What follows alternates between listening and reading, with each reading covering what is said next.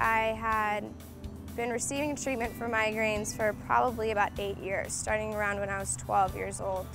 Um, I'd really tried everything. I'd been to a bunch, uh, lots of different doctors, even doctors out of state, um, doctors in different cities.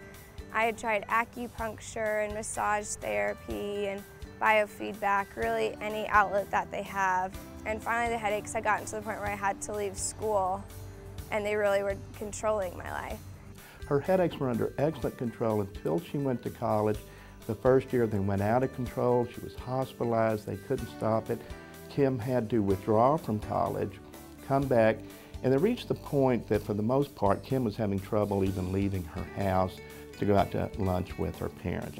Here I was, 20 years old, not able to work, not able to attend class and go to school. And I finally realized, you know, maybe there is an end to this, maybe there is a solution, and maybe I can have this problem, but live my life the way I want to and actually have control over it. The unique expertise that we have here and what we've developed is a procedure using an implanted neurostimulator for control of severe migraine headaches. A neurostimulator is an implanted unit.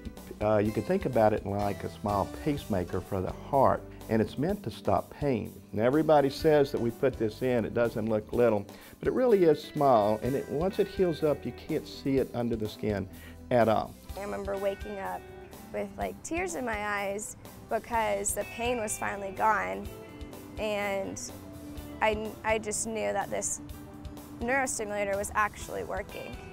He's a really great doctor, he's really caring and he'll be honest with you whether this is the right avenue or not. He's really there to help the patients and if he thinks that this neurostimulator can help them, then you know, he'll tell you and if he thinks you need to try this other avenue first, he will. He really is about helping the patient and getting the patient healthy and I recommend him to anyone that had migraines or chronic pain like I did.